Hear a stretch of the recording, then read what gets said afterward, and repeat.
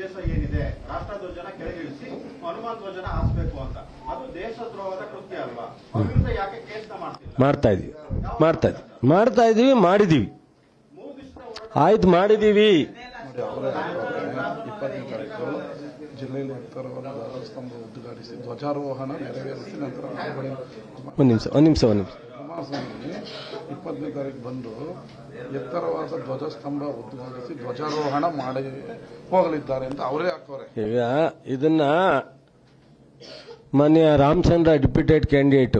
ಇದಕ್ಕೆಲ್ಲ ಮೂಲ ಕಾರ್ಯಕರ್ತ ಅವನೇ ಈಗ. ಅವನು ಕುಮಾರಸ್ವಾಮಿ ಅವ್ರನ್ನ ಇಪ್ಪತ್ತ ಎಷ್ಟನೇ ತಾರೀಕು? ಇಪ್ಪತ್ತನೇ ತಾರೀಕು ಕರೆಸಿ ಮಾಡಬೇಕು ಅನ್ನೋ ಪ್ಲ್ಯಾನನ್ನು ಹಿಂದೆ ಇಟ್ಕೊಂಡು ಇದನ್ನೆಲ್ಲ ಆಡಿರ್ತಕ್ಕಂಥವ್ರು. ನೀವೇನು ಒಂದು ನಿಮಿಷ ಅವ್ರದ್ದು ಮುಗಿಸ್ಬಿಡ್ತೀನಿ ಮಂಜು. ಈಗ ನೀವೇನ್ ಹೇಳಿದೀರಾ, ನೀವೇನ್ ಹೇಳಿದಿರಾ, ಅದ್ರ ಬಗ್ಗೆ ಕ್ರಮ ಆಗ್ತಾ ಇದೆ. ಅದ್ರ ನೋ ಡೌಟ್ ಹೇಳಿ. ಹ್ಮ್. ಆಗತ್ತೆ, ಅವ್ರ ವಿರುದ್ಧನೂ ಕ್ರಮ ಆಗುತ್ತೆ. ಮಂಜು ಮಂಜು ಮಂಜು, ನೀವು ಹೇಳಿರೋ ಸತ್ಯ. ಯಾರು ಇದಕ್ಕೆ ಪ್ರಚೋದನೆಗೆ ಒಳಗಾಗಿದ್ದಾರೆ, ಅವ್ರ ಮೇಲೆ ಕ್ರಮ ಆಗುತ್ತೆ, ಯಾವುದೇ ಮುಲಾಜು.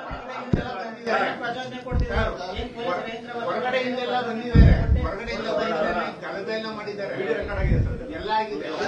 ಎಲ್ಲ ವಿಡಿಯೋ ರೆಕಾರ್ಡ್ ಆಗಿದೆ. ಗೌರ್ಮೆಂಟ್ ಪ್ರಾಪರ್ಟಿ ಮೇಲೆ ಡ್ಯಾಮೇಜ್ ಮಾಡಿರೋದು ರೆಕಾರ್ಡ್ ಆಗಿದೆ. ಯಾರ್ಯಾರು ಉಲ್ಲಂಘನೆ ಮಾಡಿದ್ದಾರೆ, ಪ್ರಚೋದನೆ ಮಾಡಿದ್ದಾರೆ, ಅದು ಎಲ್ಲರ ಮೇಲೂ ಕೇಸ್ ದಾಖಲೆ ಆಗಿದೆ, ಕ್ರಮ ಆಗುತ್ತೆ. ನೆಕ್ಸ್ಟ್ ಹೇಳಪ್ಪ.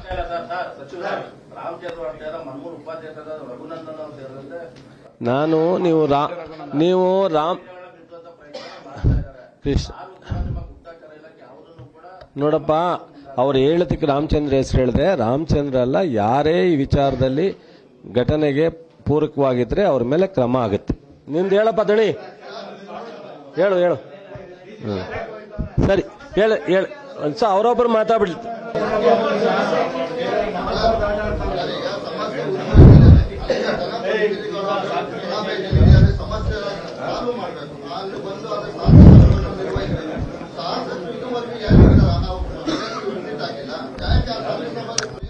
ನೋಡ್ರಿ ನಿನ್ನೆ ಸಾಯಂಕಾಲ ತಾನೇ ಮುಗಿದಿದೆ.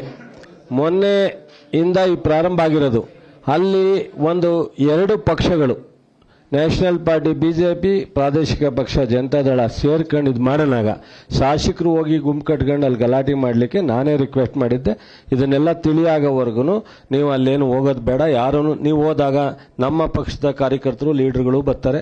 ಅದೆಲ್ಲ ಯಾವುದೇ ಥರ ಘಟನೆ ಆಗೋದು ಬೇಡ ಅಂತ ಹೇಳಿದೆ. ಅದಕ್ಕೆ ಹೋಗಿಲ್ಲ. ಇನ್ನು ಮುಂದೆ ಹೋಗ್ತಾರೆ.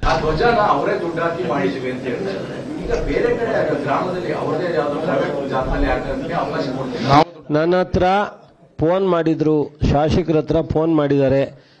ಸೂಕ್ತವಾದಂಥ ಖಾಸಗಿ ಜಾಗದಲ್ಲಿ ಅವರೇನಾದ್ರೂ ಈ ಥರದ ಸ್ತಂಭನ ಮಾಡಲಿಕ್ಕೆ, ಬಾವುಟ ಹಾರಿಸ್ಲಿಕ್ಕೆ ತೀರ್ಮಾನ ತಗೊಂಡ್ರೆ ನಮ್ಮ ಸಹಕಾರ ಇರುತ್ತೆ ಅಂತ ಹೇಳಿದ್ದೀನಿ ಆದರೆ ಕಾನೂನು ಬಾಹಿರವಾಗಿ ಮಾಡಲಿಕ್ಕಾಗಲ್ಲ. ಕಾನೂನುಬದ್ಧವಾಗಿ ಅವ್ರು ನಮ್ಮ ಜೊತೆ ಚರ್ಚೆ ಮಾಡಿದ್ರೆ ನಾನು ಖಂಡಿತ ಶಾಸಕರು, ನಾನು ಜಿಲ್ಲಾ ಆಡಳಿತ ಚರ್ಚೆ ಮಾಡಿ ಅವ್ರಿಗೆ ಸಹಕಾರ ಕೊಡ್ತೀನಿ ಸರ್, ಸುನೀಲ್ ಕುಮಾರ್ ಅವರು ಹೇಳಿದ ಬಿಜೆಪಿ ಇದೇ ತರ ಈಗ ನಾವು ನೋಡ್ರಿ ಸುನೀಲ್ ಕುಮಾರ್ ಯಾರು ಅಂತಲೂ ಗೊತ್ತು ಸಿ ಟಿ ರವಿ ಯಾರು ಅಂತಲೂ ಗೊತ್ತು ಕುಮಾರಸ್ವಾಮಿನೂ ಗೊತ್ತು ಅಶೋಕು ಗೊತ್ತು. ನಾವೇನು ನಿನ್ನೆ ಮೊನ್ನೆ ಹುಡ್ತವ್ರಲ್ಲ ಇಲ್ಲಿರೋರೆಲ್ಲ ನಾವು ಇಪ್ಪತ್ತ್ ಮೂವತ್ತು ವರ್ಷ ರಾಜಕೀಯ ಹಿನ್ನೆಲೆ ನೋಡಿರೋರೆ ಈ ಜನರ ಬದುಕಲ್ಲಿ ಬದುಕಿರೋರು ಮತ್ತು ಬರಲಿ ಬನ್ನಿ ನಡ್ರಿ ಅವ್ರು ಮಾತಾಡಲಿ. ಸುನೀಲ್ ಕುಮಾರ್ ಮಾತಾಡಿದ ತಕ್ಷಣ ಹೀರೋ ಹಾಕಾಗಲ್ಲ ಇದು ಮಂಡ್ಯ. ಮಂಗಳೂರಲ್ಲ. ಸುನಿ ಒಂದು ನಿಮಿಷ. ಕೊನೆ ಫೈನಲ್ ಆಗಿ ಹೇಳ್ತೀನಿ ಕೇಳಪ್ಪ. ಒಂದು ನಿಮಿಷ. ಅವರು ಒಂದು ನಿಮಿಷ, ಪ್ರತಿ, ಒಂದು ನಿಮಿಷ. ಏಯ್, ನರೇಂದ್ರ ಸ್ವಾಮಿ ಅವರು ಒಂದು ನಿಮಿಷ ಮಾತಾಡ್ತಾರೆ. ಅದಕ್ಕಿಂತ ಮುಂಚಿತವಾಗಿ ಹೇಳ್ತೀನಿ. ಒಂದು ಬಿಜೆಪಿಯ ನಾಯಕರು ಜನತಾದಳ ನಾಯಕರಿಗೆ ಒಂದು ಸಂದೇಶವನ್ನ ಕೊಡ್ಲಿಕ್ಕೆ ಇಚ್ಛೆ ಪಡ್ತೀನಿ ಇದು ಮಂಡ್ಯ. ಇದು ಮಂಗಳೂರಲ್ಲ ಉಡುಪಿ ಅಲ್ಲ ಇದು ಮಂಡ್ಯ. ಮಂಡ್ಯ ಜನರ ಶಾಂತಿಯನ್ನ ನೀವೇನಾದ್ರು ಕದಲ್ಸ್ಲಿಕ್ಕೆ ಪ್ರಯತ್ನ ಮಾಡಿದ್ರೆ ಮಂಡ್ಯ ಜಿಲ್ಲೆಯ ಜನ ನಿಮ್ಮನ್ನ ಸಹಿಸಲ್ಲ. ನಾನು ನಮ್ಮ ಜಿಲ್ಲೆಯ ಯುವಕರಿಗೆ ಪಕ್ಷಾತೀತವಾಗಿ ವಿನಂತಿ ಮಾಡ್ತೀನಿ. ಅವರ ರಾಜಕೀಯ ಅಸ್ತಿತ್ವಕ್ಕೆ ನೀವು ಬಲಿಯಾಗೋದು ಬೇಡ. ಅವರ ರಾಜಕೀಯ ಅಸ್ತಿತ್ವಕ್ಕೋಸ್ಕರ ನೀವು ಅವ್ರ ಜೊತೆ ನಿಂತು ಮಂಡ್ಯ ಜಿಲ್ಲೆಯ ಸ್ವತಂತ್ರ ಪೂರ್ವದಿಂದ ಕಟ್ಕೊಂಬಂದಿರ್ತಕ್ಕಂಥ ನಮ್ಮ ಹಿರಿಯರ ಗೌರವವನ್ನು ನಾವೆಲ್ಲರೂ ಸೇರಿ ಕಾಪಾಡೋಣ. ನಿಮ್ಮ ಜೊತೆ ನಾವಿರ್ತೀವಿ. ನಮ್ಮೆಲ್ಲ ಶಾಸಕರು ಜಿಲ್ಲಾಡಳಿತ, ಸರ್ಕಾರ, ಮಂಡ್ಯ ಜಿಲ್ಲೆಯ ಯುವಕರು, ಮಂಡ್ಯ ಜಿಲ್ಲೆಯ ಜನರ ಜೊತೆನಲ್ಲಿ ಇರ್ತೀವಿ ಏನೇ ವಿಚಾರ ಇದ್ರೂ ನಾನು ನಿಮ್ಮ ಜೊತೆ ಚರ್ಚೆ ಮಾಡಿ ಬಗೆಹರಿಸ್ತೀವಿ. ಈ ವಿಚಾರಕ್ಕೆ ತಾವ್ಯಾರೂ ಸಹ ಹೆಚ್ಚಿನ ಆದ್ಯತೆ ಕೊಡೋದು ಬೇಡ ಅಂತ ಹೇಳಿ ರಿಕ್ವೆಸ್ಟ್ ಮಾಡಿ. ತಾವೂ ಸಹ ಇದು ಭಾರತೀಯರಾಗಿ, ನೀವು ಸಹ ಇಂಥ ವಿಚಾರದಲ್ಲಿ ಯಾವುದೇ ಥರದ ಪ್ರಚೋದನೆಕಾರರಿಗೆ ಹೆಚ್ಚು ಮಹತ್ವ ಕೊಡದಲೆ ನಿಮ್ಮ ಸಹಕಾರನೂ ಇರಲಿ ಅಂತ ಕೇಳ್ಕೊಂಡು